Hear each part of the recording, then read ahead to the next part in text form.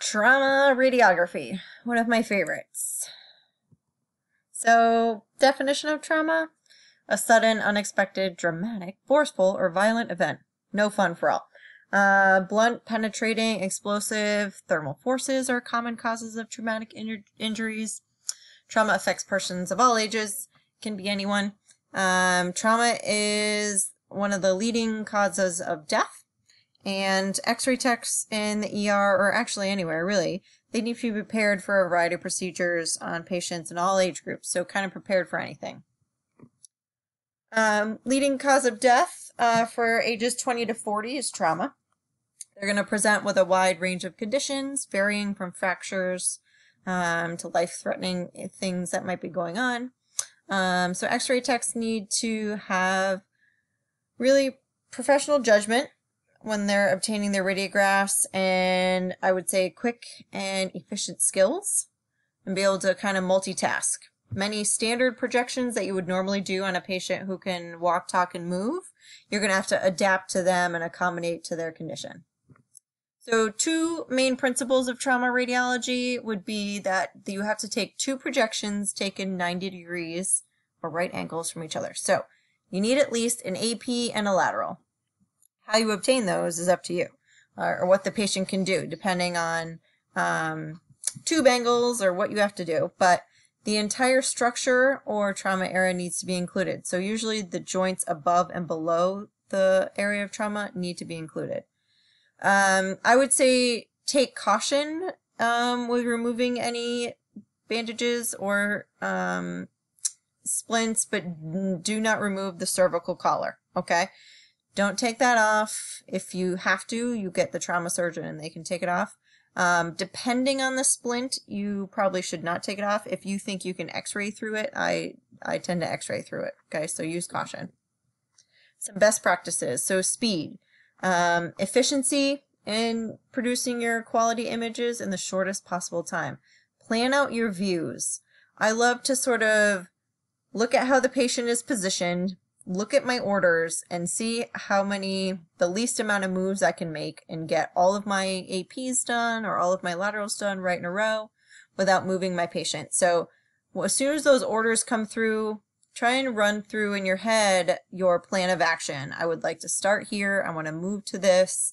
Um, so your accuracy is key though. You, you don't want to move too fast where you give up your accuracy, accuracy or your quality right? So if you're moving too fast for yourself, you're going to end up taking a repeat. So, you know, don't go so fast where you're going to do that. So watch your OID and SID. SID tends to be um, an area where techs in the ER tend to get distracted. They're moving fast.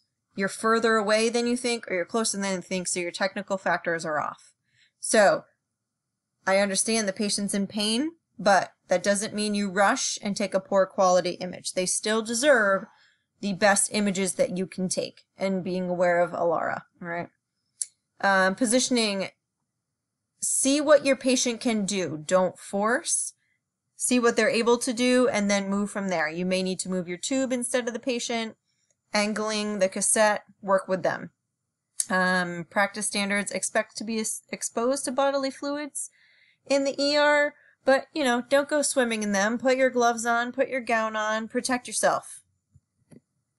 Immobilization. So you may um, definitely need to utilize sponges to help with immobilization. Be wary of tape, um, especially if it's an elderly patient with that thin um, skin. You don't want to rip anything off or make anything worse. Anticipation.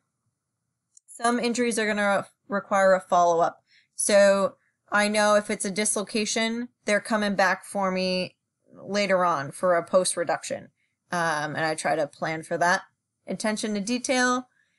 Just be careful and pay attention to the patient. The patient's condition could change at any time. So make sure you are checking in with that patient, talking to the patient, kind of some their speech might have changed or their breathing rate might have changed or their color might have changed just start to be aware throughout your entire procedure. Right? Attention to ER protocols and scope of practice. So wherever you are, whatever facility you're working in, I'm sure they're going to have an ED image protocol. So in our trauma room for our clinical site, we do a portable chest and depending on the trauma, a portable pelvis. And we may do a one view of an extremity, but for the rest, they will come to us unless the patient is so severe they have to go right to the OR. You may do more extremities in the room. Um, the patient then goes to CAT scan for whatever they need. Then they come over to our x-ray department and we finish off.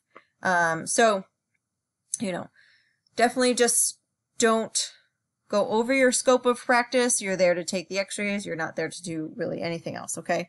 Professionalism, you need to adhere to code of ethics. So talking about your trauma experiences, those need to be um, very, very vague, no details, no patient info, absolutely no pictures on your phone. Okay. Patient assessment is there seven major areas of patient assessment.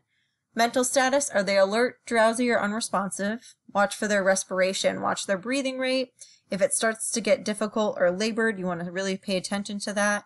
Skin color, um, are they getting super pale? This cyanosis, are they turning a little bit blue? That tends to be a term for boards, okay? Uh, is there a presence of open wounds or bleeding? And if they start bleeding, the bleeding needs to be controlled. Degree of sensation or presence of pain. Um, do they start to have lack of sensation? That could be um, a red flag for spinal injury. Musculoskeletal integrity. Never force a joint um, to check for movement, see what the patient can do. Uh, patient mobility. Spinal injuries, you want to use modified methods. If they're in a neck collar, we're going to do cross table work or decubitus views. You're not going to be sitting that patient up and turning them on their side. Um, is your patient already in a position that's required? So you might always start your ankles as an AP ankle. Well, your trauma patient is fractured and they are in a lateral position. The foot is externally rotated. Don't rotate them up to do a lateral, to do an AP. Start lateral. Start how they lie. I, that's how I work my way up. Least amount of moves, plan your views. Um, you know, does your patient have, can they stay on the stretcher for all of the things? Or do you need to move them to a table? I try and do, if I have to do stretcher work and then move to the table, I try and separate those out. Is there a language barrier? Can the patient understand you? Interpreters can be paged through the hospital system to help you um, assist that patient more efficiently. So the, in, in the trauma room, there's going to be a lot of people. There's going to be a lot of people around, especially our facility because it's a teaching hospital. So um, the patient will be on a trauma stretcher. And you guys know the trauma stretchers by now. They're the red ones. We have the tray underneath. But there's going to be multiple doctors, there's going to be multiple nurses, there's going to be um, the nursing assistant or the circulators. There may be a trauma surgeon depending on, you know, how bad it is. The paramedics might still be in the room. Um, there might be a social worker in the room, something like that. So it may be chaotic in the room, but if you can remember, you are usually there to do a portable chest 90% of the time. That's the one exam you're going to do you could do, you guys do portable chest x-rays all the time. It's not any different. It's literally a supine chest, maybe a pelvis. But if you can focus on those two things, it's much less stressful.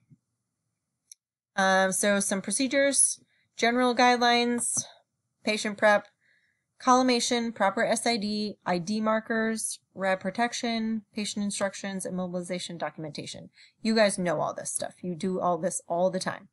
But patient prep, Communication skills with appropriate touch and eye contact. Trauma usually causes some anxiety. Your patient may not be cooperative with you, but that's not because they don't want to be cooperative, depending on if there's a head injury, um, anything like that. But you still need to communicate to them everything you're going to do. Check for potential artifacts. Explain why you're removing them and why.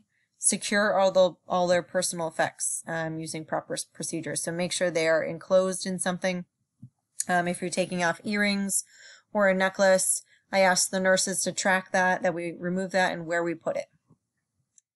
Your image receptor collimated to field size. So Just because it's trauma does not mean you open your cones as wide as possible. Just because you have a 14 by 17 cassette does not mean you open your cones 17 inches for an ankle.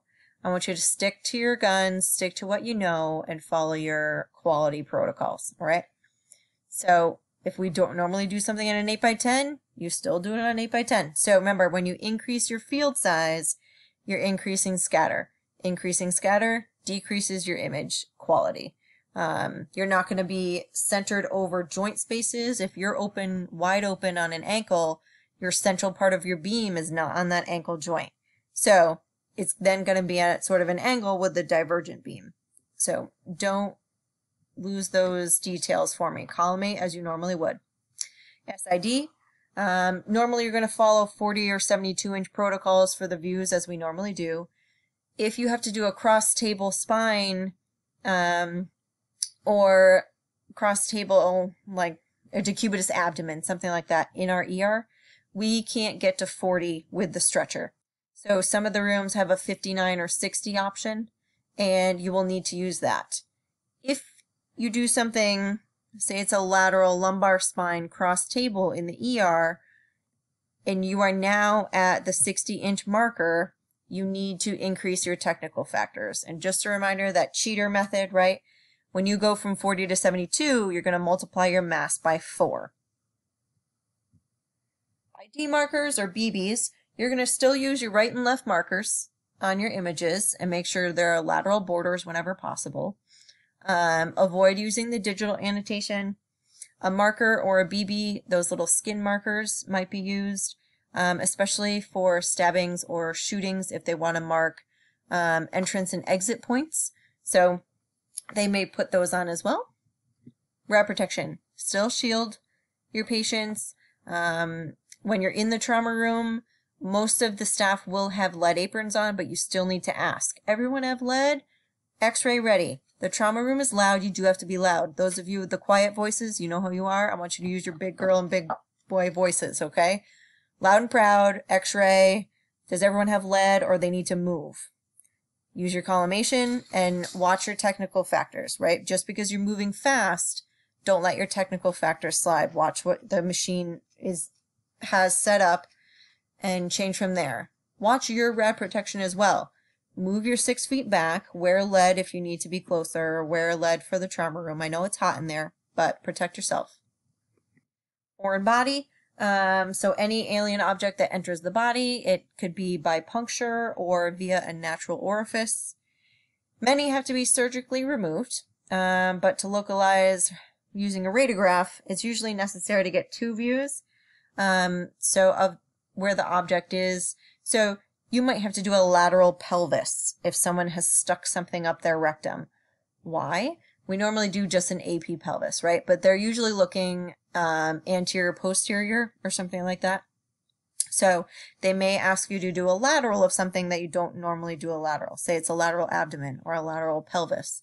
Um, that's for the foreign body. Uh, locations, so right angle projections, 90 degrees from each other. We will do obliques um, and possibly tangential views looking for superficial foreign bodies. If it's um, superficial to the bone, it's in the front, you might be asked to do a tangential projection.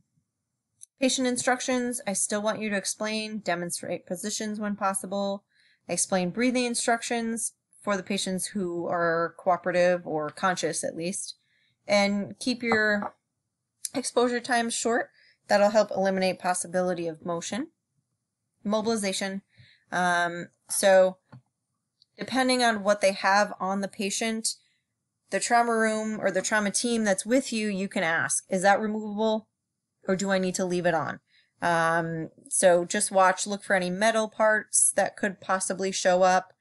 The femur braces for femur fractures, those have metal in them, but you cannot take them off once they're in there. So you leave them on, right? Sponges and tape are your friend. Tube angles are your friend. Work with what you got. Documentation because you're deviating or adjusting routine procedures, so you have to do a PA forearm instead of an AP forearm. You want to document that. I had to do a PA forearm. Patient was able unable to cooperate. Due to severe pain or fracture. Just write it down. All right. I'm going to pick up there.